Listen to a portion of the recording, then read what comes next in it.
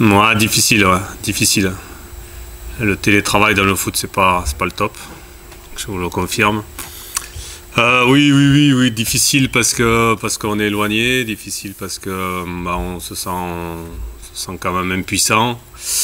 Euh, et puis euh, oui, de, voir un petit peu la, la, tournure que ça a pris sur, les deux matchs. Ouais. Bien sûr déçu par les résultats. Voilà. déçu aussi par le fait que bon à Strasbourg le, le match a été quand même assez euh, tronqué par, par l'expulsion, même si on ne va pas se, se cacher que, le, que, que, là derrière, mais c'est vrai que ça, ça fait basculer, basculer le match dans, dans le mauvais sens, ça, ça c'est clair. Après, oui, euh, déçu après plutôt sur le, sur le match de 3, sur le, le comportement, le comportement général, quoi. Voilà, qui, qui nous a aussi plombé. Donc là, il y a du travail, il y a aussi du travail. Euh, dans le football, il y a du travail euh, sur le terrain, tactique, euh, physique, mais il y a aussi du travail dans le, mental, dans le comportement. voilà, être, plus malin, être, et pas se tirer une balle dans le pied comme on l'a fait sur le match de 3. Je pense que ça les a affectés, ouais. ouais je pense que ça a affecté le, groupe. C'est pour ça que je dis qu'il faut travailler mentalement. Et puis, ce, sont des, ce sont des faits quand même importants, mais derrière, on, se doit d'enchaîner les matchs. Hein. On est des professionnels, c'est notre job. Euh, des coups durs, il euh, y en a, hein, euh, parfois. Là, c'est bon, il y a ce sentiment d'injustice, mais comme je l'ai dit, on ne peut pas se cacher là-dessus. il faut qu'on soit capable de, réagir et de, bien réagir. Et là, on est parti dans, de l'impatience, dans un peu de, la nervosité et on sait très bien que ça, ça, ça, fonctionne pas. Donc, euh, on en a fait la, preuve euh, l'année là. J'espère qu'on va en tirer des, conclusions et euh, des changements derrière, obligatoirement. ça, c'est clair. C'est ce que j'attends de la, de part du groupe sur changement de, de, comportement. Des injustices, il y, en a, tous les jours, hein, que ce soit sur les terrains de foot ou en dehors. Et ça ne doit pas nous empêcher d'avancer. Oui, on peut, on, peut, faire le constat en disant voilà, on est peut-être moins, moins fringant, peut-être, euh, certainement. Euh, est-ce que ça vient de là? Je ne sais pas. Euh, c'est le constat qu'on essaye de faire aussi parce qu'il n'y a, a, pas les résultats. S'il y avait eu, eu d'autres résultats, bon, on, aurait passé dessus. Donc, moi, ce que je veux surtout mettre l'accent, c'est sur, sur la fragilité d'un groupe, de, l'équilibre d'un groupe. Ça peut, aller, ça peut aller très vite. Et euh, cet équilibre, pour ne pas le, briser, il faut qu'il y, même qu ait, des bases mentales assez solides, avec euh, certaines certitudes là-dessus, puis capable d'emmagasiner certaines choses et de, pouvoir euh, garder notre ligne de, conduite. C'est surtout, surtout ça. Après, bien sûr, qu'on va commencer, on va chercher un petit peu à droite, à gauche. On était moins bien physiquement, on a eu plus de mal, etc. Voilà, bon. Par exemple, sur le match de Strasbourg. On a très bien débuté le match euh, et ça, ça, fonctionnait, ça fonctionnait très bien. Après, euh, c'est plutôt sur la deuxième mi-temps, dès, l'entame de la deuxième mi-temps, on a commencé à sentir que, que les gars faisaient peut-être un peu moins d'efforts, étaient moins bien. Il y a, y a, plein d'aspects qui, euh, qui, rentrent en jeu. Si tout le monde met, met le frein en mettant 10% de moins, bah, effectivement, l'équipe n'a pas, le même rendement. Donc, on a parfois l'impression que quand, ça fonctionne bien, on a, tendance un petit peu à relâcher, euh, alors qu'il faut continuer à enfoncer le clou. Donc ça veut dire que l'équipe parfois manque un peu de, maturité, certainement, et qu'il va falloir qu'on grandisse quand même.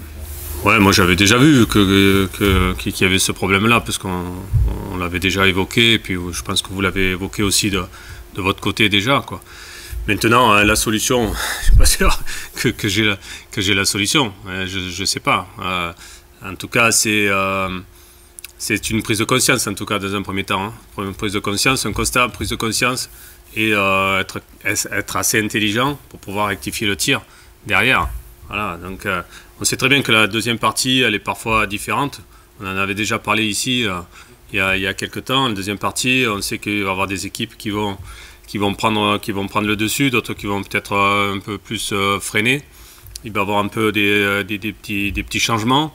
les, grosses équipes qui étaient un petit peu derrière, Lille, Monaco, tout ça, Lyon, bah, ça, ça risque de, de, de, partir plus fort, de, monter d'un cran. Voilà, ça, on, a, on doit prendre en compte tout, tout ça. Mais on doit d'abord effectivement s'occuper de, s'occuper de nous. Et nous, il faut qu'on continue dans, notre ligne de conduite. Voilà, c'est surtout ça, c'est cette ligne de conduite avec euh, nos, bases, euh, nos bases tactiques, euh, notre travail régulier au quotidien à l'entraînement. Voilà, garder une certaine ligne là-dessus. Et on sait que bah, on peut avoir des blessés, on peut avoir des, suspendus et que voilà, on aura des, des, hauts et des bas, mais il faut quand même éviter de descendre trop bas. Voilà, c'est surtout, surtout ça. Et puis continuer là-dessus. Donc, on doit travailler mentalement là-dessus, euh, d'abord en prenant prise, faisant une bonne prise de conscience. Non, j'ai pas eu l'occasion de voir les joueurs parce que je viens juste, euh, j'ai l'autorisation de venir avec le groupe, même si euh, j'avais eu par visioconférence le groupe avant le match. Et justement, j'avais parlé de, rester calme et de rester, de rester tranquille, mais le problème, ce n'est pas simplement d'en parler, en fait. Il faut le faire accepter, c'est ça là. C'est ça la, grosse difficulté, faire accepter euh, par, par, le groupe. Euh, l'explication, euh, voilà, c'est un excès de, de, nervosité. C'est vrai qu'on s'est on s'est heurté à, un mur troyen, c'était difficile, peut-être pas dans les meilleures dispositions nous en ce moment là sur, sur, les, sur ce, sur ce match-là. Donc après on s'énerve alors que le match ça dure 95 minutes. Et ça, on l'a oublié. Voilà. Donc c'est surtout ça que je m'explique. Et euh, c'est là où on doit, on doit grandir là-dessus. Et si on ne gagne pas le match, bon, on ne le perd pas. Et puis on peut aussi le gagner à la 95e. Voilà. Mais nous, euh, quand ça vient pas de suite, on s'énerve un peu.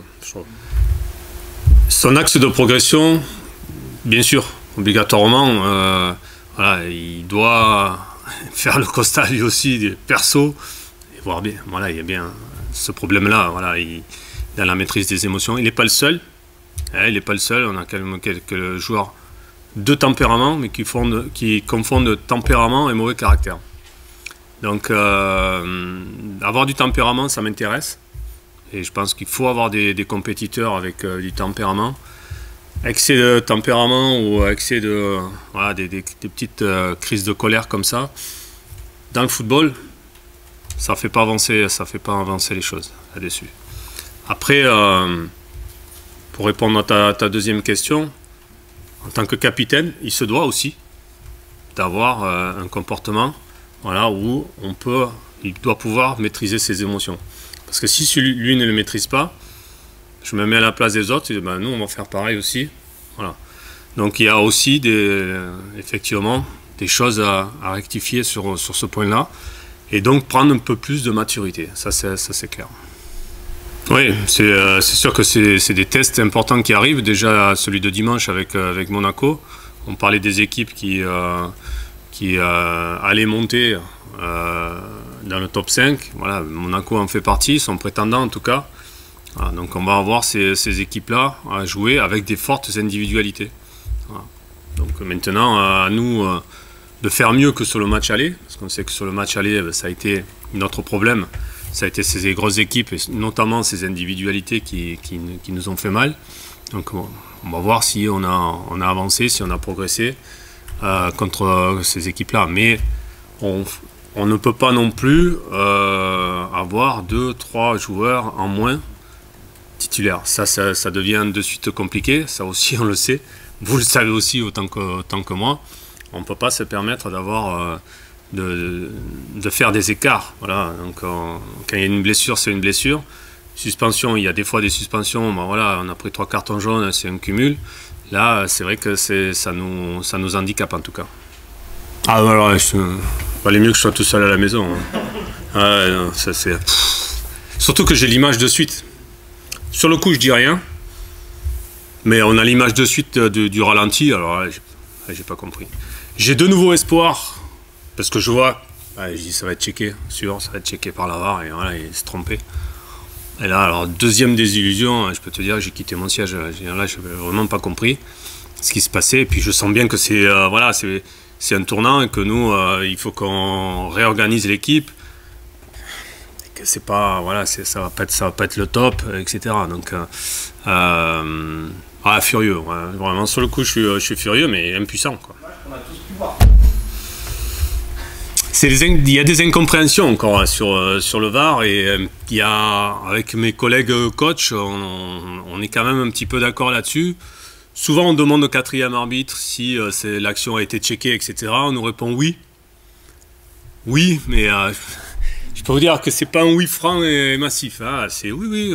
Voilà je sais pas, il y a encore des choses à régler, il y a, il y a vraiment des choses qu'il faut, qu'il faut voir parce que c'est, c'est pas clair, c'est pas tout à fait net, ça devrait déjà euh, aller plus vite. Et puis, euh, voilà, on sent, on sent qu'il y a, il y a, il y a allez, on va dire qu'il peut y avoir que des améliorations. Quoi. Ça? Oui, oui, mais même. Tu... qui revient Oui, on, on, peut aller plus loin, puisque je crois que la stat, elle vache que on est champion d'Europe, je crois je crois, les champions d'Europe. Donc euh, c'est peu, glorieux. Ouais, euh, c'est pas, pas logique. ça prouve bien que on a une marge de, progression dans ce secteur-là. Euh, on monte le, niveau, ouais, c'est le, le, niveau, bon là, Ligue 1. plus tu montes de niveau, il faut savoir, il faut savoir jouer avec les éléments, il faut savoir discuter avec l'arbitre, il faut sentir le match, il faut savoir quand c'est que tu, peux parler, quand c'est que tu peux t'énerver, quand tu dois te, calmer. Voilà, c'est la, la maîtrise du, champion. Quoi. On doit avoir cette maîtrise du, champion que l'on n'a pas totalement, ça c'est clair. On attend toujours plus, euh, effectivement, des garçons qui, euh, qui rentrent. Parce qu'on on, voit souvent les matchs, et les matchs peuvent basculer avec, avec ces garçons-là. Voilà. Donc euh, on voit bien sur ces équipes qui ont des, effectifs quand même conséquents, notamment ceux qui jouent en Coupe d'Europe font rentrer quand même des joueurs de, valeur, de grande valeur, et ça, ça, amène, ça amène quelque chose. Euh, nous, on a des jeunes joueurs. Euh, c'est pas facile. Je me mets à leur place. C'est pas facile de, de, de, rentrer, de prouver sur 10, 12, 15 ou 20 minutes. C'est pas toujours, pas toujours évident. Il y a un rythme à prendre. On n'est pas sous, tout le temps, nous, avec en possession du ballon à la fin du match. Et euh, voilà, on ne se retrouve pas non plus avec euh, moult euh, occasions. Donc euh, c'est pas évident pour eux déjà. Voilà. Et le fait de ne pas avoir beaucoup d'expérience dans, ce domaine-là ne les aide pas non plus. Quoi. Maintenant, effectivement, on a, envie de dire, bon, sur la seconde partie de, de, cette saison, vous avez un rôle important à jouer, à aller chercher. Quoi. Donc, euh, amenez-nous un plus. Quoi. C'est ça. Après, c'est à nous à les, aider. Mais effectivement, on, attend plus, on attend, on attend plus. Mais euh, je me mets aussi à leur place, c'est pas facile. Sincèrement, c'est pas, c'est pas facile. Ils jouent pas régulièrement, ils n'ont pas toujours le, rythme, même s'ils s'entraînent très très bien, avec un très très bon état d'esprit. Mais euh, il va falloir à un moment donné qu'ils soient capables de faire un exploit. C'est ce qu'on leur demande. Après, sur, sur Yanis, Yanis a eu a été euh, coupé un peu dans son élan plusieurs fois par, par des blessures. Là, dernièrement, c'était sur, sur, des, sur des problème d'adducteur.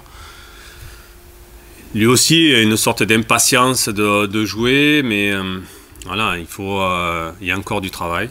Il y a vraiment encore du travail avant de passer le cap entre la N2 et la, la Ligue 1 et de pouvoir amener quelque chose. Et ça, il faut que, que tous les joueurs prennent vraiment conscience et on leur parle, on leur parle, on leur parle du travail qu'il qui y a à faire. Et, euh, il faut le rabâcher, rabâcher, parce qu'il y, a le travail du terrain, mais il y a encore plus, encore plus. Il faut aller chercher encore plus. Il faut se renforcer. On voit que des fois, ben, on manque un peu de, muscles, on, manque de vis, bien sûr, parce qu'on n'a pas l'expérience. Mais euh, ça passera par, par le travail, hein, que ce soit sur la vidéo, sur le travail en, en, salle, le travail sur le terrain, le travail mental aussi. Et ça passera par ça pour qu'ils arrivent à monter un peu plus haut. Mais c'est vrai qu'il en manque un peu encore. Ouais, c'est plus que dépanner. Ouais. Ouais, ouais, ouais. Non, on peut dire que c'est. Ouais. Bon problème qui se présente à toi avec les performances qui ah ouais, ouais. Oui, je pense que le point fort que l'on a depuis un bout de temps, c'est qu'on arrive à être solide dans l'axe derrière. Et comme je l'ai dit, c'était une de, des, des, priorités. On craignait un petit peu avec euh, l'absence de, de, Maxime, mais c'est vrai que Nicolas, dans son rôle, dans ce rôle-là, est, est, bon. Il fait, des, bons matchs. il reste dans la simplicité, mais depuis le début, je pense que dans, ce rôle-là, il n'a pas raté un match. C'est vraiment, c'est vraiment fort et je pense que l'aide de, Mamad, il est pour quelque chose, bien sûr, mais lui, il s'est glissé là-dedans et je trouve ça très intéressant. Et je répète, on le fait jouer à droite et je pense que même si s'il était sur son bon pied, il pourrait nous amener autre chose sur le, sur le, plan, le plan offensif. Ce que je lui demande, c'est de rester dans, cette dynamique-là, quoi, parce que s'il continue comme ça, dire, il va, il va encore progresser et, monter d'un cran, ça c'est clair. Oui, Junior, on sait très bien. Hein. donc, euh, Junior, c'est un garçon qui a des capacités. je crois que je me suis adressé la, première, le, le, premier discours que j'ai eu avec un joueur, c'est avec lui parce qu'on sent les capacités. Après, euh, qu'est-ce qu'il fait de ses capacités?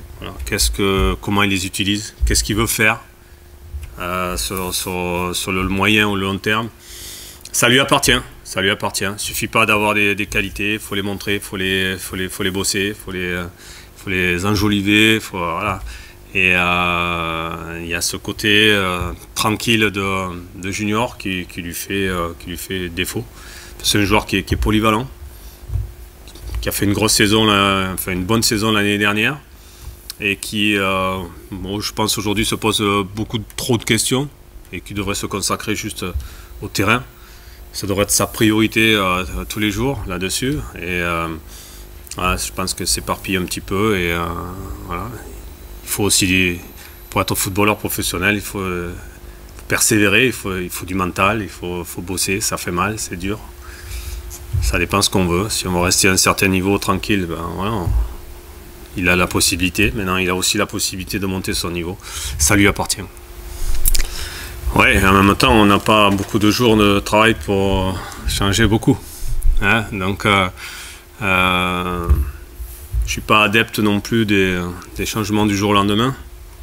Ah, mais euh, c'est des choses que, dont je réfléchis aussi.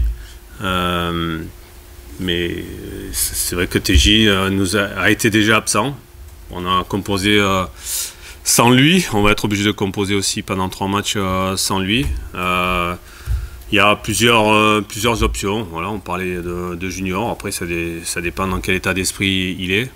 Est-ce qu'il est prêt à, se défoncer pour, pour l'équipe Tout ça, j'ai besoin d'avoir ces certitudes-là. Après, il y a, il y a aussi d'autres possibilités avec des joueurs plus jeunes.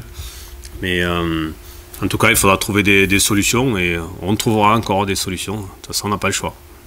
On peut, on peut l'être, ouais. Effectivement, on peut l'être parce que euh, ça dépend de, la réaction du, du, groupe, des garçons qui, euh, qui vont intégrer, de la progression de tout ce qu'on vient de parler, de, ces jeunes joueurs qui vont, qui vont progresser. Mais euh, là, il faut, il faut qu'on amortisse le choc. On a, on a fait deux matchs où voilà les résultats n'ont pas, été là. Il y a eu des, choses euh, quand même qui, sont à garder, d'autres qui sont à modifier. À nous d'avancer là-dessus. Effectivement, euh, euh, on n'a pas une marge de manœuvre très très très très large. Mais à un moment donné aussi, sur le début de saison, on avait pas aussi, on avait ces, ces, problématiques là. Et voilà, on doit avancer parce que c'est notre job on doit, on doit trouver des solutions ensemble, que ce soit staff et joueurs, et, staff et joueurs ensemble. Trouver des solutions là-dessus, avec l'ensemble du club. Si on sent qu'à un moment donné, on a trop de, lacunes, si on doit éventuellement se renforcer, on essayera là-dessus. mais c'est ça, ce sera un discours général avec, euh, avec l'ensemble du club. Oui, oui, je pense qu'il y, a un message là-dedans c'est clair. Le fait de, faire signer Jordan, qui fait, une, très bonne saison, qui a aussi un rôle qui est un peu plus euh, euh, important auprès, de, des autres joueurs. Donc euh, c'est de dire oui, on veut construire avec ce, genre de joueurs qui ont, qui ont, de la qualité, qui sont impliqués dans, le club. C'est sûr que c'est un message fort de la part du président du club. C'est une volonté en tout cas générale. Ah oui, on est obligé de tester tous les jours, euh, toutes les semaines, pardon. tous les jours, c'est déjà. toutes les semaines, euh, ouais, ouais. Comme euh, tout le monde, ça fait partie du, protocole. Donc demain, on testera tout le monde. ouais, ouais. Avant le, Oh, c'est entre 24 48 heures avant le, avant le match. Voilà, donc on, ils seront testés demain, euh, comme l'ensemble du staff, sauf moi. Il faut bien que j'ai des avantages à un moment donné. hein. Donc comme j'étais Covidé, pas la peine. Voilà. Une note positive. Oui. Ils ont changé, ouais. Ils ont changé tactiquement. Ils ont changé euh, même plusieurs fois. euh, voilà, dans deux matchs, ils ont, on, a, on a- deux matchs de recul. Il y a eu plusieurs essais de fait. ouais. Mm. Donc, euh, bon, les, joueurs, c'est sensiblement les mêmes qui, qui vont évoluer, hein, même si il n'en a pas 11, mais un peu de 16, 17 ou 18 qui, euh, qui sont titulaires. Euh, mais il y a eu de, des nuances. On a noté quelques nuances.